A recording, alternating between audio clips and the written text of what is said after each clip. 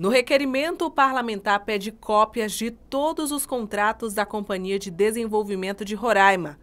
O intuito é comprovar se realmente a Codesaima passa por crise financeira anunciada pela instituição. Vamos analisar essa documentação, no caso os contratos, para ver se realmente é, condiz com a realidade que é propalada pela, pela gestão da Codesaima, que é de uma empresa de uma empresa de economia mista, onde é um, só possui um único acionista, que é o governo do estado, e que se realmente ela está falida, por quê? A Codesaima está é, exonerando os seus empregados. Então, nós não podemos é, simplesmente aceitar este fato. Para acompanhar a situação, a Assembleia Legislativa criou uma comissão especial para mediar as discussões entre Estado e servidores.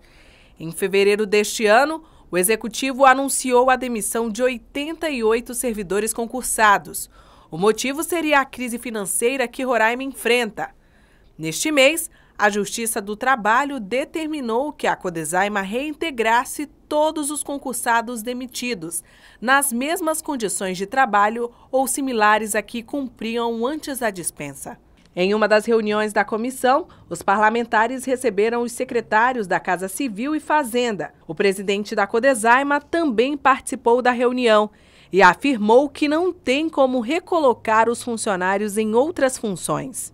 Existe um instituto no direito do trabalho é, que se chama desvio de função.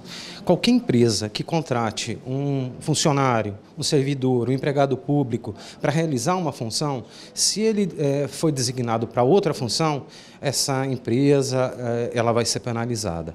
Tá certo?